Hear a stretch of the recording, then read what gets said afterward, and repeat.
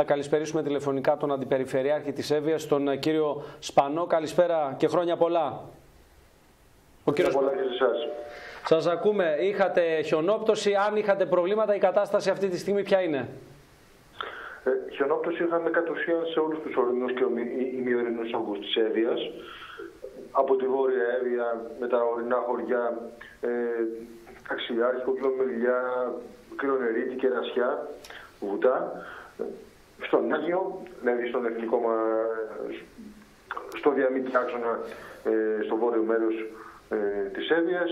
Κύριε Αντιπεριφερειάρχα, για να χρησιμοποιήσουμε λίγο το χρόνο επικοδομητικά, ναι. αυτή τη στιγμή τι πρέπει να ξέρουν όσοι κινούνται στο δικό σας ε, δίκτυο, το οδικό; Αυτή τη στιγμή το σύνολο του εθνικού και επαρχιακού δικτύου είναι ανοιχτό.